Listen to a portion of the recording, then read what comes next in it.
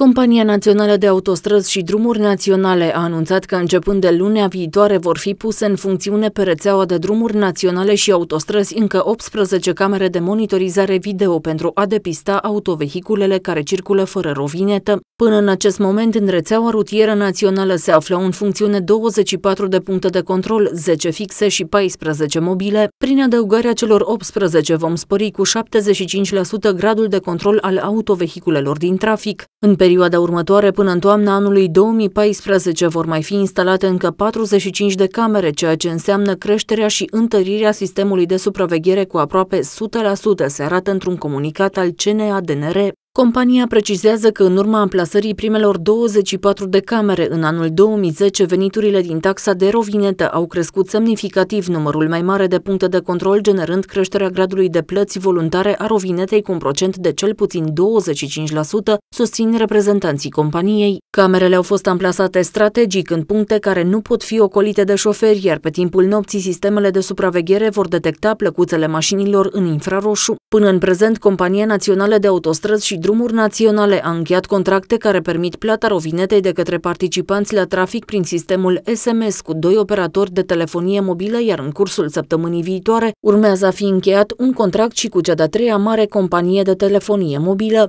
Dispozitivele de control fac parte dintr-un sistem informatic compact al CNADNR. Pe șosele sunt amplasate posturi de control dotate cu camere video care recunosc numerele de înmatriculare ale mașinilor de la o distanță de 20 de metri. Numărul de înmatriculare al autoturismului este verificat în baza de date și în cazul în care nu a fost plătită rovineta, proprietarul mașinii este amendat.